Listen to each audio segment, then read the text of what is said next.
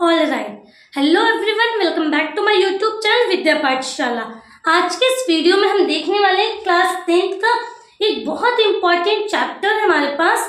From the diary of Anne Frank हमारा एक chapter है। ये हमारा न्यू सेशन का चैप्टर है। जो बच्चे इस बार नाइन्थ एग्ज़ाम दे चुके हैं, वो टेंथ में जो बच्चे आ गए हैं, उनके लिए ये वीडियो होने वाले ठीक है? देखिए, जैसे कि आपको पता है कि हमारे टेंथ में अपने पास दो बुक है। पहला बुक है फ़र्स्ट फ़्लाइट और दूसरा बुक है फुटप्रिंट विदाउट फीट देखिए, दोनों बुक है, हमें दोनों बुक के क्वेश्चन आंसर्स लाइक चैप्टर्स पढ़ने होंगे। तो हमारा जो फ़र्स्ट बुक है फ़र्स्ट फ़्लाइट उसका चैप्टर नंबर फोर है from the diary of Anne Frank जिसका हम आज हम वेरी शॉर्ट क्वेश्चन आंसर देखने वाले हैं, ठीक है? एक्सप्लेनेशन ऑलरेडी चैनल पे पढ़ा है। अगर आप इस चैप्टर का एक्सप्लेनेशन देखना चाहते हो तो आप जाके चैनल को विज़िट कर सकते हो, ठीक है? चलिए, देखिए सबसे ज़रूरी बात है ना, अगर आप चैप्टर्स के वेरी शॉर्ट आंसर या फिर अगर मैं कहूँ आपसे, अगर आप चैप्टर्स के समरी को पढ़ते हो ना अच्छे से तो कोई भी क्वेश्चन है क्वेश्चन अगर ट्विस्ट करके आते, घुमा फिरा के आते, फिर भी आप आंसर इजिली दे पाओगे। तो मैटर ये करता है, आपको स्कूल में तो चैप्टर्स पढ़ाए जाते होंगे। मैटर ये करता है कि आप घर पे जितना हो सके उसकी समरी को पढ़िए डिटेल समरी पढ़िए पॉइंट वाइज समरी पढ़िए उसके बाद एमसीक्यू को सॉल्व करिए, फिर वेरी शॉर्ट क्वेश्चन आंसर उसके बाद शॉर्ट लॉन्ग फिर थिंकिंग अबाउट द क्वेश्चन वाले क्वेश्चन ठीक है? लेकिन आज के इस वीडियो में हम वेरी शॉर्ट क्वेश्चन आंसर देखने वाले हैं. Chapter number four from the diary of Anne Frank उससे पहले अगर थोड़ा सा चैप्टर का आपको क्विक सा रिव्यू दूँ तो देखिए ये जो हमारा जो चैप्टर है पूरा वर्ल्ड वॉर सेकेंड के ऊपर बेस है वर्ल्ड वॉर सेकेंड के ऊपर ओके देखिए ये हमारा एक ऑटोबायोग्राफी है किसके एनी फ्रेंड की जो हमारे इस स्टोरी के मेन कैरेक्टर है ठीक है एक ऑटोबायोग्राफी ओके स्टोरी नहीं आप बोल सकते हो एक है ऑटोबायोग्राफी ऑटोबायोग्राफी का मतलब क्या होता है रिटर्न कोई ऐसी स्टोरी जो आपने खुद लिखी हो, उसे बोलते हैं ऑटोबायोग्राफी जिसे हम हिंदी में आत्मकथा भी कहते हैं। ओके चलो। याद रखेंगे, ये इंसिडेंट कब हुआ था? वर्ल्ड वार सेकेंड के टाइम पे। और ये जो हमारा जो चैप्टर लिया गया है, वो एने फ्रैंक के ऑटोबायोग्राफी से लिया गया है। नंबर थर्ड अब देखिए, इसमें ना एक बहुत अच्छी बात की लाइक की गई है डायरी के ऊपर। तो आपसे सीधा सा क्वेश्चन पूछ सकते हैं कि डायरी एने जो हमारी थी, उनको डायरी किसने दिया था और कब दिया था? तो उनके थर्टीन मतलब तेरहवें बर्थडे पे दिया था डायरी। किसने दिया था? उनके फादर ने। क्लियर ये भी याद रखिएगा, इन डायरेक्ट क्वेश्चन पूछ सकते हैं। जो हमारी एने थी ना, वो ज्यूश गर्ल थी। ठीक है? तो पूरी स्टोरी आप पढ़े होंगे। जैसे हम इंडियन से, वैसे वो ज्यूश लोग थे। चलो पहला क्वेश्चन है हाउ ओल्ड वॉज़ एने पहला बहुत इंपॉर्टेंट क्वेश्चन पूछा गया हाउ ओल्ड वॉज़ एने एने हमारी कितने साल की थी देखिए सबसे ज़रूरी बात पता बच्चे क्या पूछते मैम इतना इजी तो क्वेश्चन एग्ज़ाम में नहीं पूछता मुझे भी पता सीबीएसई भी थोड़ा स्मार्ट बन चुका है तो इतना इजी क्वेश्चन तो नहीं पूछते लेकिन जो भी आपसे लॉन्ग क्वेश्चन पूछे, या फिर शॉर्ट आंसर पूछे, आप उन क्वेश्चन में ये आंसर कहीं ना कहीं डाल सकते हो। इससे पता क्या होगा? जब आप फैक्ट लिखते हो ना क्वेश्चन आंसर में, जब उनका डेट ऑफ़ बर्थ हो गया, उनका रियल नेम हो गया, या फिर ये सब वगैरह अगर आप आंसर में अपने ऐड करते हो ना तो इससे एग्जामिनर को लगता है कि हाँ आपने इस चैप्टर को डीपली पढ़ा है। अगर आप उस चैप्टर उस क्वेश्चन में ऑथर का नाम भी लिखते हो ना अगर आंसर में तो एग्जामिनर एग्जामिनर पे अपना बहुत अच्छा इंप्रेशन बनता है, ठीक है? चलिए, पहला क्वेश्चन पूछ रहा हाउ ओल्ड वॉज़ एने एने कितने साल की थी? She was thirteen years old girl कितने साल की थी? याद रखिए, तेरह साल की। She was a German Jew German Jew ठीक है? जर्मनी देश है तो जर्मन जू थी। अब देखिए, हालाँकि आपको लाइक डीओपी तो नहीं पूछे फिर भी आप याद रख सकते हो। Twelve June nineteen twenty nine से फेब्रुवरी या फिर मार्च कंफर्म नहीं है। आप दोनों देख सकते हो, नाइनटीन फोर्टी तो ये याद रखना हमारी अने कितने साल की थी? Thirty number two what was the name of Anne sister अब एन सिस्टर का जो हमारी एन थी, उनकी बहन का क्या नाम था? Margot her name was Margot ठीक है? अब से यहाँ पे डायरेक्ट क्वेश्चन पूछ लिया जाता है कि एने की जो डायरी थी, जो उनको थर्टीन बर्थडे पे जो मिली थी, उस डायरी का क्या नाम था? उस डायरी का नाम था किटी। क्या था? किटी। पता अक्सर बच्चे कंफ्यूज हो जाते किटी मीन्स तो हो सकता बिल्ली का बच्चा नहीं। याद रखिएगा, किटी हमारे एने की जो डायरी थी, उसका नाम उन्होंने रखा था एने ने what was the name of Anne's maths teacher बहुत, पता है क्वेश्चन क्यों पूछा? क्योंकि सबसे ज़्यादा एनएस कौन परेशान थे? उनके मैथ्स टीचर थे। उन्होंने कितनी बार उसको पनिशमेंट देने की कोशिश की? कितना होमवर्क दिया? हमने स्टोरी में पढ़ा था। उन्होंने इसे चैटर बॉक्स कहा था। किस लिए क्योंकि एने हमारी बहुत ज़्यादा टॉकेटिव थी। और टॉकेटिव का मतलब क्या होता है? टॉकेटिव का मतलब होता है one who talks very much जो बहुत ज़्यादा बातें करता है, उन्हें आप बोलोगे टॉकेटिव चलिए। His name was mister Keesing mister Keesing seven Where did family migrated from Germany to? Her family migrated from Germany to Holland. कहाँ migrate हुई थी Holland. According to एने what has more patience than people?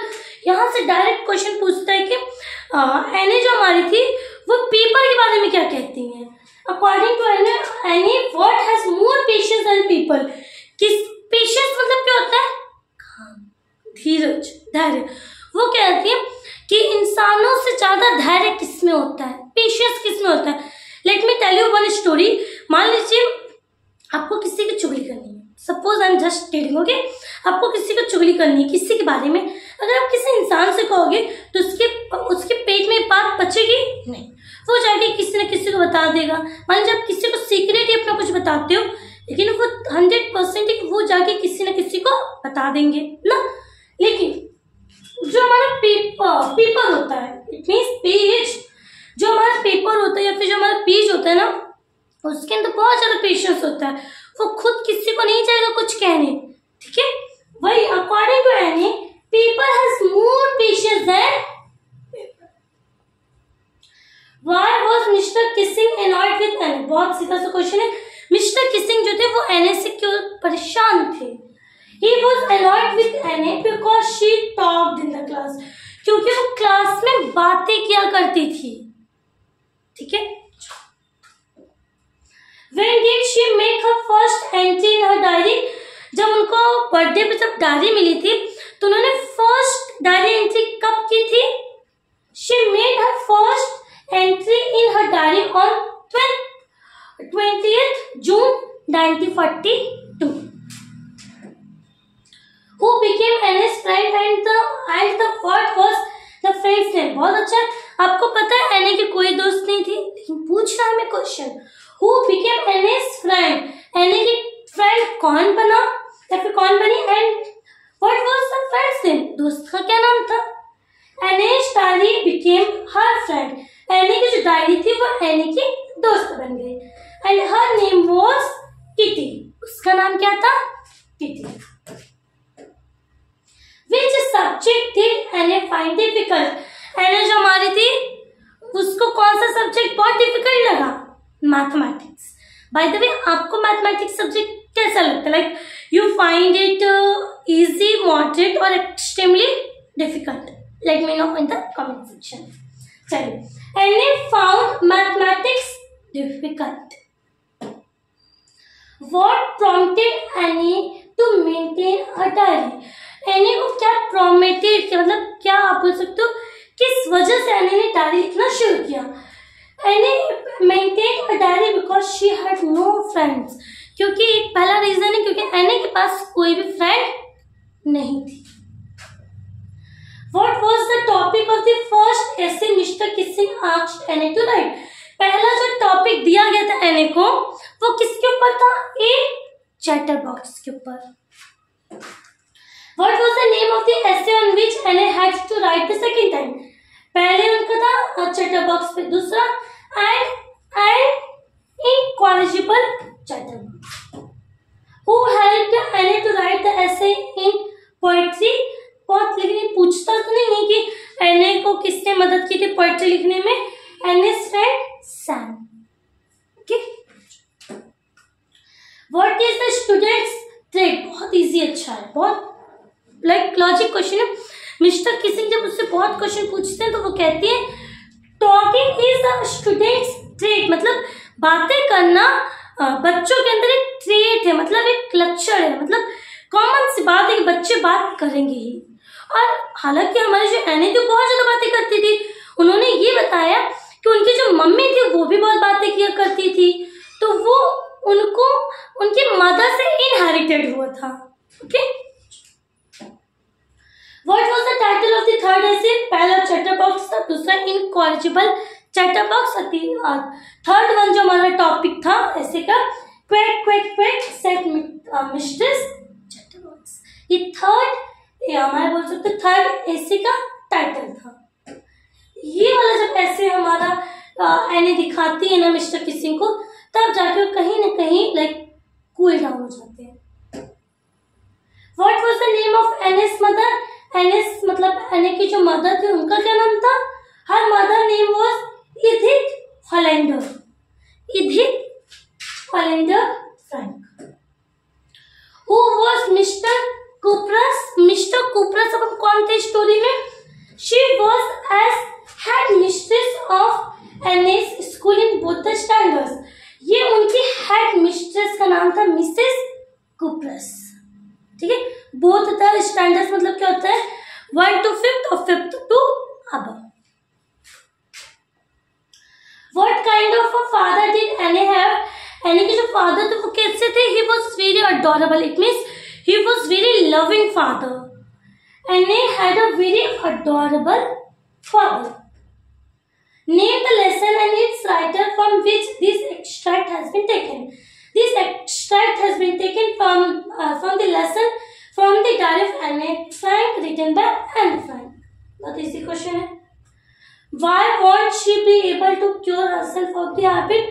कहते हैं जो बातें वो किया करती थी उससे जो हमारी एने थी वो क्यों क्यों नहीं हो पा रही थी इट मीन्स वो उससे ठीक क्यों नहीं हो पा रही थी She won't be able to cure herself of the habit because her mother talked as much as she did, if not more. उनकी मम्मी भी इतनी बातें किया करती थी जितनी हमारी एने किया करती हैं ओके किया करती थी। Number twenty one why does Anne call teachers unpredictable creatures on the earth बहुत अच्छा क्वेश्चन है। हमारी एने जो थी ना टीचर्स को पता क्या कहते हैं? अनप्रिडिक्टेबल मतलब कि वो अनप्रिडिक्टेबल मतलब क्या होता है जिसको आप प्रिडिक्ट ना कर पाओ पहले से। पहले से ना समझ पाओ। देखिए she calls teacher so because no one knows what results will be given by them to different students क्योंकि किसी को नहीं पता होता कि जो टीचर्स होते हैं वो कौन मतलब कैसे रिज़ल्ट किस बच्चे को दे दे अनप्रिडिक्टेबल होते हैं